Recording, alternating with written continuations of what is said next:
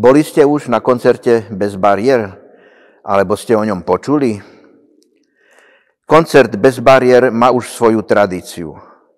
Zdôrazňuje myšlienku, že nemáme všetci rovnaké podmienky a že i tie sa môžu v okamihu zmeniť.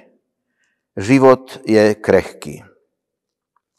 Pachelbel, Vivaldi, Bach a Slovenský komorný orchester vás pozývajú na dvoj, troj aj štvor koncert do stĺpovej siene Slovenskej filharmonie v piatok 8. septembra o 18.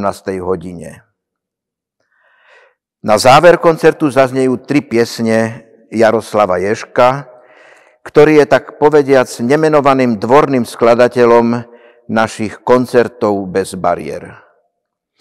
Je obdivuhodné, že človek výrazne zdravotne znevýhodnený zanechal spolu s Voskovcom a Verichom takú významnú stopu v dejinách československej kultúry.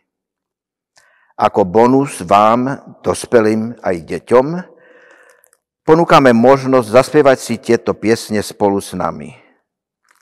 Ak sa chcete pripojiť, príďte hodinu pred koncertom, teda v piatok o 5. na krátku skúšku. Bude nám potešením. Música